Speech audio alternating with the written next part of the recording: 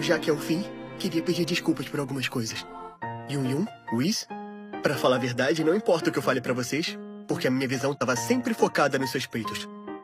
A Whis tem tanto peito, e a roupa da Yun Yun é tão sexy no decote. Eu realmente achava que era culpa de vocês por terem esses corpos. Me desculpem. Megumi, quando eu carregava você pra casa, depois de usar magia explosiva, eu ficava tentando sentir os seus peitinhos em mim. Quando eu ficava chacoalhando você e mudando a minha posição. Me desculpe, Darkness. Desde que começamos a viver juntos aqui, tudo que eu tenho realmente visto em você são peitos. Você é basicamente peitos. Peitos. Me desculpa. Aqua, quando a gente estava dormindo nos estábulos, Eu não consigo comer mais. eu tentei desesperadamente me apaixonar por você, mas não deu. Me desculpa. Ah, não desista tão fácil, Kazuma! Não desista!